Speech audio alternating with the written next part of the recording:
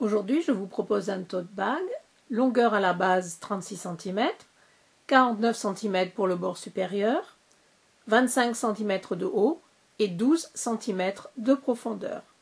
Il est très simple et rapide à faire. Sur le devant, une grande poche que j'ai divisée en trois. À l'arrière, une poche profonde. Les anses font environ 70 cm de long sur 3 cm de large. Toutes les mesures vous sont données dans le tuto. Un bel espace de rangement à l'intérieur. Découpez un carré de 6 cm de côté dans les coins inférieurs.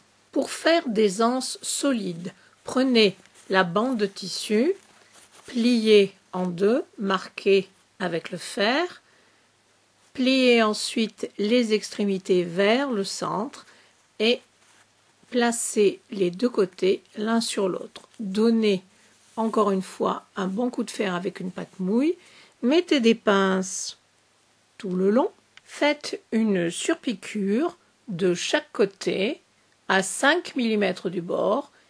Ici, j'ai mis longueur de point 3,5. Si votre tissu est un peu moins épais, mettez longueur de point 3. Les anses auront des extrémités non finies. Pour la poche arrière, placez les morceaux endroit contre endroit, alignez-les bien, épinglez, faites une couture tout autour à 1 cm du bord. Dans un des côtés, laissez une ouverture de 10 cm. Ensuite, vous couperez les coins et vous retournerez sur l'endroit. Donnez un bon coup de fer et faites ressortir tous les coins. Pour marquer le haut de la poche, faites une surpiqûre à 5 mm du bord, longueur de point 3. Centrez la poche sur une des parties en simili-cuir. Faites attention à ce que le bas de la poche soit à 1 cm au-dessus des coins pour prendre en compte la marge de couture. Maintenant, faites une piqûre sur piqûre à 5 mm du bord sur les trois côtés. Ce faisant, nous allons fermer évidemment l'ouverture qui se trouve ici. Longueur de point 3. Si j'ai été trop vite, j'ai fait un tuto technique sur la manière de faire la poche plaquée et doublée. Le lien sera dans la boîte de description en dessous de cette vidéo. Pour la poche du devant, c'est très simple. Placez les pièces endroit contre endroit, alignez les bords, mettez des épingles et faites simplement une couture sur les deux longs côtés. Ensuite, vous retournerez ce tube sur l'endroit, vous donnerez un coup de fer pour bien faire ressortir les coutures. À nouveau, faites une surpiqûre à 5 mm du bord, longueur de pointe 3 pour marquer le haut de la poche. Vous piquerez le bas de la poche à 5 mm du bord, longueur de point 2,5 ou 3 selon les épaisseurs du tissu. Et ensuite, vous diviserez la poche en autant de fois que vous voudrez. Juste pour information, j'ai divisé la poche en trois et j'ai fait mes deux lignes de piqûre à 16 cm des côtés. Marquez le milieu de chaque côté du sac. Ensuite, placez les extrémités des anses à 7 cm d'un côté et de l'autre. Mettez des pinces pour tenir. Faites ensuite une faux filure à l'intérieur de la marge de couture pour tenir les anses en place. Le joli côté de la piqûre montre que c'est l'endroit de l'anse. Placez donc endroit contre endroit. Si vous voulez mettre des poches à l'intérieur de votre sac, il faut le faire maintenant. Pour aller plus vite, je ne vais pas en mettre. Vous pouvez rajouter une poche zippée, cachée et doublée, des poches zippées, doublées et plaquées et même une poche zippée, doublée et flottante que vous prendrez dans la couture. J'ai fait de nombreux tutos techniques sur différentes sortes de poches. Les liens seront dans la boîte de description. Si vous voulez que votre sac puisse se fermer, je vous conseille de faire un panneau zippé à coudre sur la doublure. J'ai fait un tuto technique à ce sujet. Le lien sera dans la boîte de description en dessous de la vidéo. Prenez une fermeture à glissière de 50 à 60 cm de long. Vous ferez les petits manchons pour habiller les extrémités de la fermeture.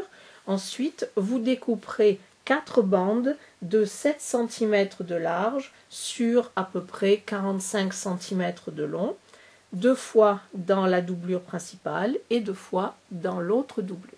Pour ce sac, je ne vais pas mettre de fermeture en haut, donc placez simplement un morceau de doublure sur un morceau de partie extérieure, endroit contre endroit, alignez bien les bords, mettez des pinces et faites une couture tout le long à 1 cm.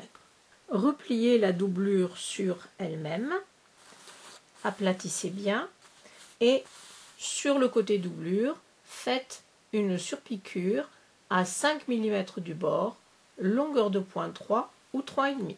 Placez les deux parties du sac endroit contre endroit, alignez bien les bords et surtout faites bien coïncider les coutures de chaque côté. Mettez des passes un peu partout. Ensuite, vous ferez une piqûre le long de toutes les lignes droites, sauf dans la doublure où vous laisserez une ouverture de 25 cm. Ne cousez pas les quatre coins. Ouvrez chaque coin, aplatissez-le, faites correspondre les coutures, mettez une pince. Ensuite, vous allez rapprocher les coins équivalents dans la partie doublure et dans la partie tissu extérieur.